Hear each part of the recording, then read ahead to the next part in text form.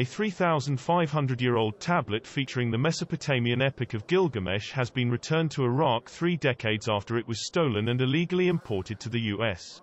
The tablet was exhibited to the media in Iraq on Tuesday by the authorities who welcomed its return as a victory over those who stole the country's history. The clay tablet features characters in cuneiform and is believed to have been stolen from an Iraqi museum in 1991 while the country was caught up in the First Gulf War. The Epic of Gilgamesh is considered one of the oldest pieces of literature in the world, telling the story of a Mesopotamian king on a quest for immortality. In a press conference on Tuesday in Baghdad, the Iraqi foreign minister delivered to the culture minister three artifacts recovered from the US and the UK, the Tablet of Gilgamesh, a Sumerian ram's head and a Sumerian tablet.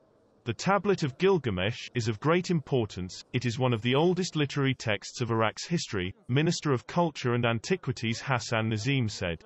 During the press conference, he stressed the message sent to all those who smuggle our antiquities and have sold them at international auctions. Ultimately, the fate of such operations is restitution. In one year, Iraq has recovered nearly 18,000 artifacts, including 17,899 pieces returned from the U.S. in the summer.